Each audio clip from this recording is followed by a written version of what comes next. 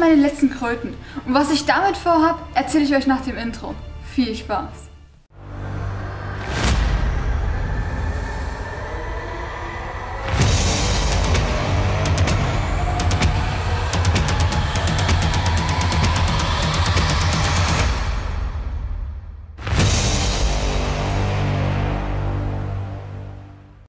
Gleich eins vorweg.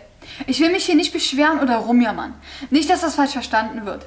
Ich bin für alles, was ich mache, selbst verantwortlich und an meiner finanziellen Situation selber schuld. Das, was hier liegt, ist das ganze Geld, was ich noch auf der Kante habe. 3000 Euro. So wenig habe ich ja noch nie gehabt. Und das hat mich ein wenig erschrocken. Also muss was passieren. Ich musste auch nicht lange überlegen, wie ich mein Geld vermehren kann. Mein Kanal heißt ja die Autohändlerin. Und jetzt wird es mal Zeit, mit Autos zu handeln. Ich bin jetzt auch keine Profihändlerin. In dem Bereich muss ich bestimmt noch eine ganze Menge lernen. Und mein Verhandlungsgeschick hält sich auch in Grenzen.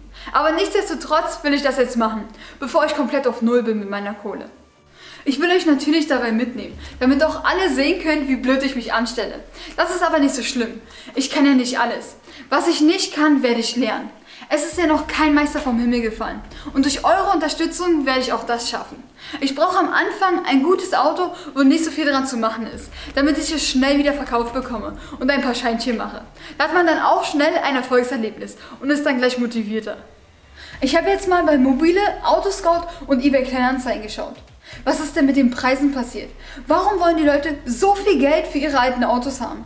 Ist das jetzt wegen Corona oder was?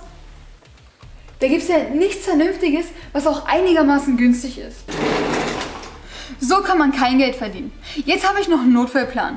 Mir hat ein Kumpel erzählt, dass es in Königs Wusterhausen, das ein bisschen außerhalb von Berlin, einen großen Platz gibt, wo sich viele Händler zusammengeschlossen haben und man da vielleicht ein Schnäppchen machen kann. Da gibt es wohl viel Auswahl. Er selbst war aber auch noch nie da. Mich hat er aber neugierig gemacht und ich würde sagen, dass wir uns das mal zusammen anschauen sollten. Wie wir das filmen, weiß ich selbst noch nicht. Da darf man bestimmt nicht filmen. Das müssen wir wahrscheinlich verdeckt machen. Dann verpixeln und auch nachvertonen. Müssen wir noch sehen. Ich habe hier noch so eine Knopfkamera, wie bei James Bond. Die habe ich mir mal vor Jahren gekauft. Die können wir auch mitnehmen. Uns wird schon was einfallen, so dass ihr mit dabei sein könnt. Wir fahren erstmal dahin. Bis gleich. So, jetzt sind wir da. Das Gelände sieht schon ziemlich groß aus. Mein Cousin wird sich die Kamera um den Hals hängen und so tun, als ob er ein chinesischer Tourist wäre. Und so probieren, die Kamera von unten mitfilmen zu lassen. Ich habe hier meine Knopfkamera dran. Mal sehen, ob es klappt. Lass uns reingehen. Das war noch die beste Aufnahme von dort mit einem roten Mikrofon und Windschutz drauf. Danach mussten wir das Mikrofon abnehmen, damit wir nicht auffallen. Aber durch den Wind hat man kaum was verstanden. Und die Knopfkamera hat zwar ein Mikrofon dran, aber das ist so kurz, dass es unter der Jacke geblieben ist und von dort auch kein vernünftiger Ton zustande kam.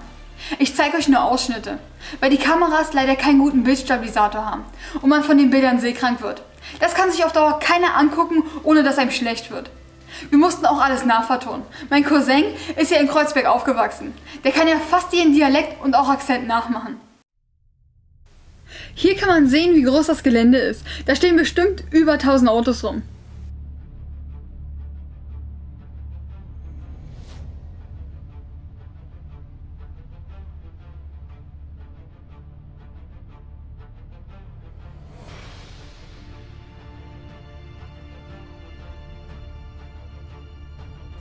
Wir sind eine Weile rumgelatscht und ich habe ein paar BMWs entdeckt. Da stand ein E46 Kombi, aber völlig fertig. Dann noch ein E46, der war auch Schrott. Und ein Einser.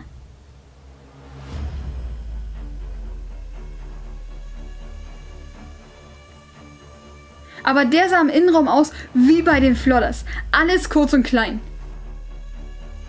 Ein Stück weiter habe ich einen E91 entdeckt. Der sah für mich günstig aus. Automatik. Der Innenraum sah noch okay aus.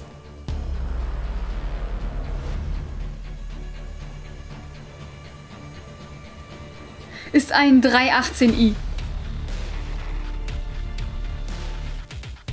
Abgeschlossen.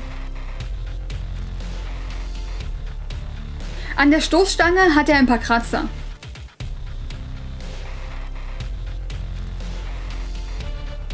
Radläufe sehen gut aus. Kein Rost.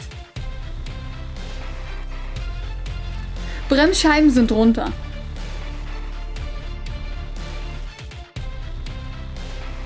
Hier hinten ist die Scheibe noch okay.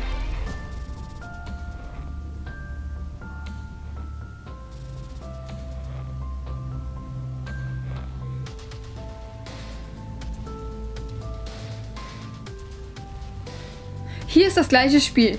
Völlig runter die Bremse. Radlauf ist okay. Die Reifen sind auch schon zwölf Jahre alt.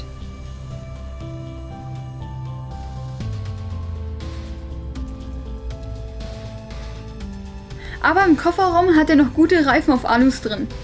Der schien mir auch bezahlbar zu sein. Jetzt mussten wir noch den Verkäufer für den BMW finden.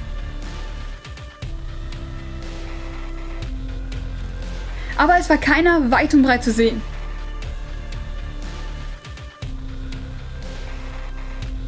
Wir haben uns dann entschieden, weiterzugehen und später nochmal wiederzukommen. So viele Autos, aber für mein Budget sieht es nicht so gut aus.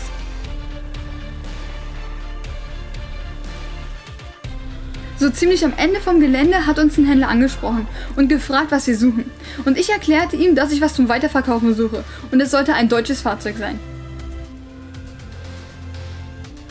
Er zeigte uns dann ein E46 Baujahr 2001 vor Facelift mit 170.000 Kilometer runter, vierte Hand. Der sollte 1700 Euro kosten. Das ist zu teuer für den Ankauf.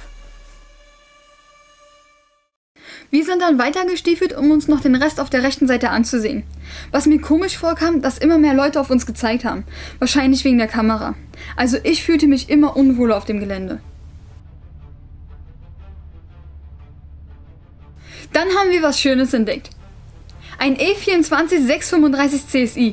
Der Zustand sah noch ganz gut aus. Wahrscheinlich ein US-Import. Schönes Auto.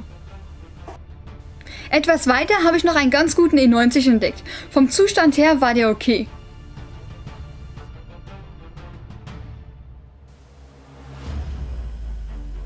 Bremsen, Reifen, Radläufe, alles super.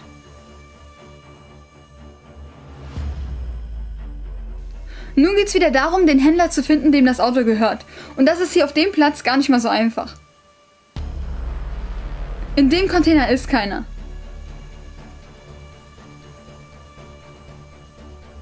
Aber hier sind welche drin. Ich frag mal nach.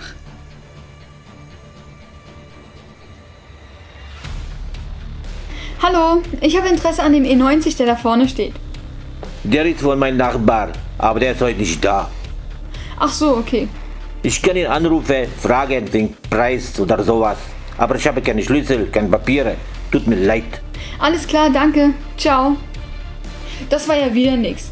Aber erinnert ihr euch noch an den E91 vom Anfang? Da haben wir jetzt einen Zuständigen gefunden. Und was für ein Blödsinn der erzählt hat, sowas glaubt ja kein Mensch. Es geht um den hier. Diese? Der gehört meinem Chef. Aber hier kann ich nicht verkaufen. Verstehst du, was ich meine? Nein. Das ist ein Parkplatz. Die kann man erklären. Zum Parken hier. Der ist nicht zu verkaufen. Der ist nicht zu verkaufen? Nein, nein, nein. Das ist nur Parkplatz. Verstehst du? Und ich dachte, ihr verkauft die Autos. Nee. Verkaufen wir Autos, aber nicht hier. Büro ist nicht hier. Kann man hier nicht verkaufen. Das darf man nicht. Hier nur parkieren. Tschüss. Okay, danke.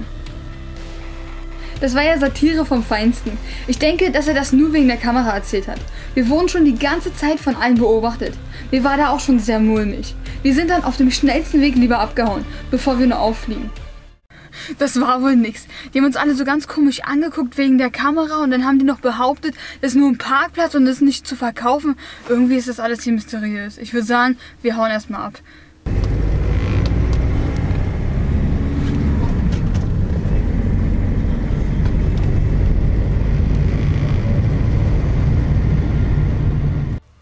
War wirklich nichts. Ich denke mal, dass die Kamera die Leute da schon gestört hat. Aber auch generell wird man da nur schwer ein Schnäppchen machen können. Ich hatte das Gefühl, dass die alle selber reich werden wollen mit ihren Kisten. Na egal, ein Versuch was wert. Suche ich eben in den üblichen Autoplattformen weiter. Da wird sich schon was finden lassen. Noch ein kurzes Update zu dem Pleuelschrauben. BMW nimmt die nach drei Monaten nicht mehr zurück. Aber das war mir schon fast klar. Normalerweise hätte man die Pleuelschrauben von ARP nehmen sollen. Die habe ich aber schon vor dem Viseco-Kolben gekauft. Da ich die jetzt wieder kaufen muss, nehme ich die von IRP. Als ich allerdings den Preis gesehen habe, habe ich einen Schock bekommen, was sie für 12 Schrauben haben wollen. 225 Euro. Und das war noch das günstigste, was ich gefunden habe. Also so langsam macht mich der Motor arm. Ich habe natürlich weitergesucht und welche in Polen gefunden für 82 Euro. Das fand ich einen guten Preis. Nur haben die eine Lieferzeit von 3 bis 4 Wochen. Also für 143 Euro warte ich gerne ein bisschen länger. Oder das Superschnäppchen erweist sich als Flop. Ich bin gespannt. Apropos Superschnäppchen. Ich wollte euch meine neue Errungenschaft zeigen. Das ist mein neuer Druckluftschlauchaufroller von Stahlwerk. Da unten liegt noch mein alter rum. Der hatte nur 15 Meter Schlauch drauf und hat 120 Euro gekostet. Der hat jetzt 20 Meter Schlauch und kostet nur die Hälfte, 60 Euro. Und von der Qualität her sind die identisch. Darum liebe ich ja Stahlwerk. Die machen echt gute Qualität zum bezahlbaren Preis. Und darum kann ich nur jedem empfehlen, wer was braucht, schaut erstmal bei Stahlwerk vorbei. Es lohnt sich auf jeden Fall. Dann wollte ich euch noch was zeigen. Schaut euch mal meinen neuen gebrauchten Stahlschrank an. Der ist doch super. Die wollten den wegschmeißen. Und wisst ihr warum? Nur weil diese Haken hier unten für die Böden gefehlt haben. Das ist doch unglaublich, oder? Die habe ich mir in 5 Minuten schnell selber angefertigt. Ich habe mir aus einem Stück 1 mm Restblech einen Streifen von 7 mm Breite abgeschnitten. Dann den Streifen in 30 mm lange Stücke zugeschnitten und in 10 mm Abschnitten unterteilt. Die habe ich erstmal in 90 Grad Winkel gebogen und danach mit Münzen dazwischen zusammengedrückt und fertig waren die Haken. Die haben natürlich nicht gereicht. Da musste ich noch ein paar mehr machen. Aber die haben perfekt gepasst und schon konnte man die Bögen wieder einhängen und den Schrank wieder benutzen. Also Leute, nicht immer gleich alles wegschmeißen. Oft kann man mit wenigen Handgriffen die alten Sachen wieder retten. Und es macht auch noch Spaß. Save the planet.